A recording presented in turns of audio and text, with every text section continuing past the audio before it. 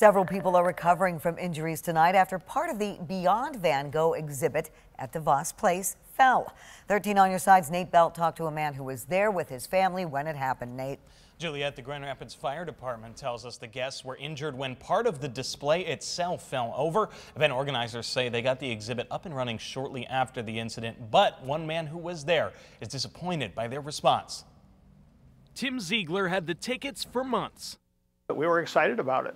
He went to the event with his daughter, son in law, and three grandkids, but it wasn't long before their excitement turned to fear.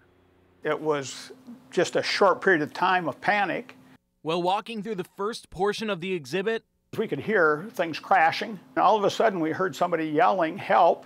And when Ziegler turned around to see what was going on, this big canopy and, and uh, the, the framework was coming right at me. Ziegler says his son in law immediately yelled for people to run, getting people out of the way as more of the framework fell.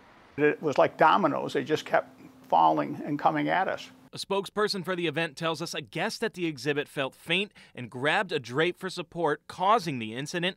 Ziegler says no one from the event came to tell them what had happened and what they were doing to make it safer.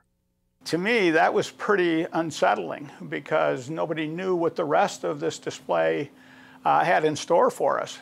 Leaving his family in fear. My one granddaughter, I mean, she was terrified. She wouldn't come back in to see the rest of the display. Ziegler says his daughter is planning to ask the event for their money back, but he'd rather see the artwork better secured in the future. I'm less concerned about the money than I am about protecting anybody else that comes to this.